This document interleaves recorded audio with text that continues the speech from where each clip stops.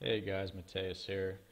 Just gonna go over today how to beat and locate the Natalya's Vengeance dungeon. This dungeon's a little tricky.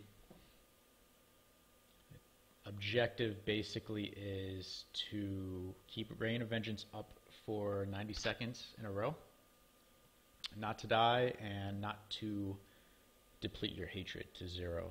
So in order to do that, we're going to optimize cooldown reduction. As you can see in my gear, I'm going to be using the diamond, and I'm going to have cooldown reduction on everything that I can, which is gloves, shoulders, both weapons, and I think that's it. We're also going to be using Dawn, which reduces the cooldown of Vengeance by 60%, or in my it's or 65%. In my case, it's 60%.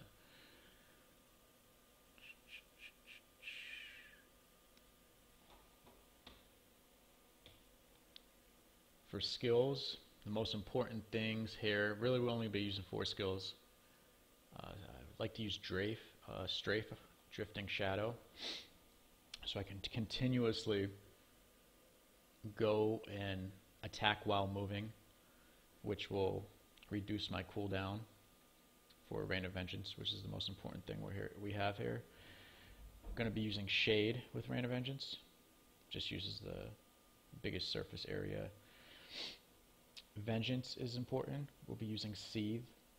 The reason this is important is because that Seethe the rune is going to increase our hatred regeneration, which is going to keep us from going to zero. So we're going to be able to basically spam strafe and Rain of Vengeance, not worry about our hatred. Same thing with Companion, Bat Companion. Sole purpose is to increase our hatred regeneration. Hot Pursuit helps a little bit. All these help a little bit, but they're unimportant. Like I said, the most important is Strafe, Rain of Vengeance, Vengeance, and Companion. That's what we're going to be using.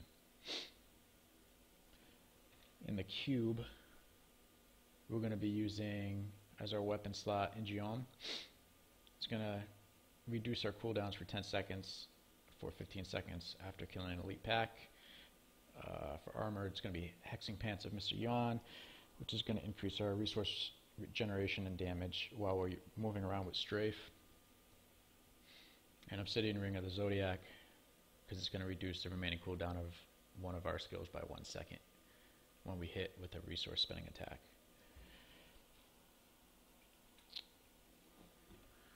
Just a disclaimer, this build is built specifically for this, this, dungeon, so don't go out there with the skills I'm showing you right now and the cube situation I have now and expect to do really well in Neph rifts and greater rifts.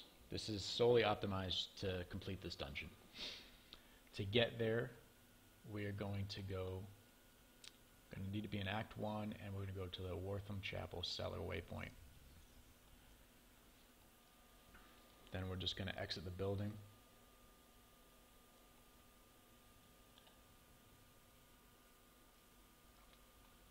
And we have the dungeon right here.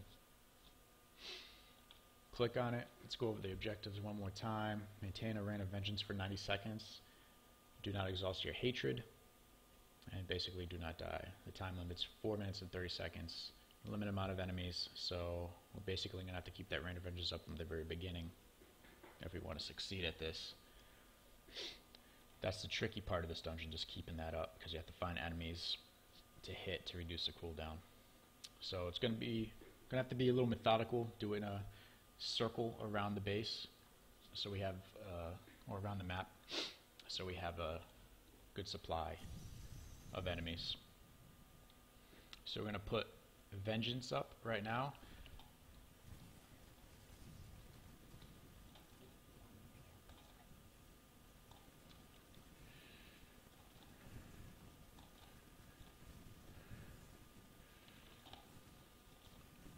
Make sure we keep Rain of Vengeance and Vengeance both up as much as possible.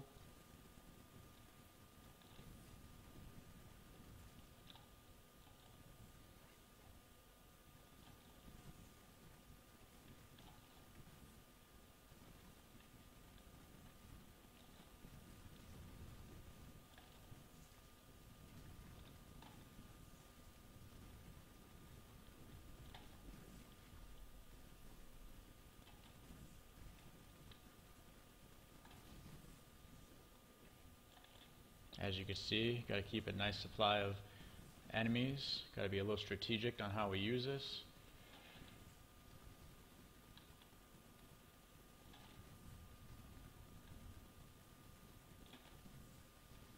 So far it's looking pretty good.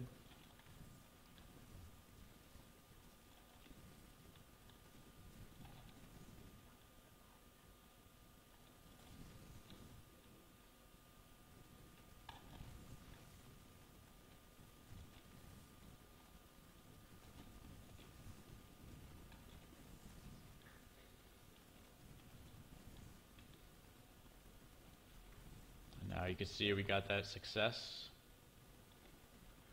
And that's really the hard part. So now we just got to kill the remaining monsters.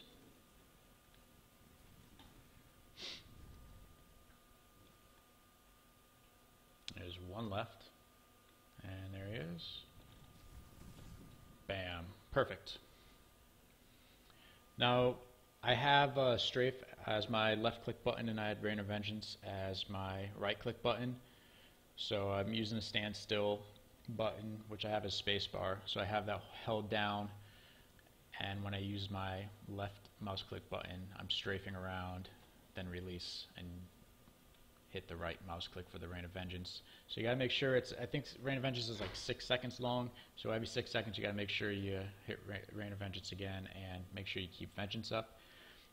Once you master that little technique, it's uh, easy dungeon to complete. It might take you a little bit to do it if you're not familiar with that play style, though. All right. Well, thank you very much. Have any questions? Leave them in the comments. Until next time.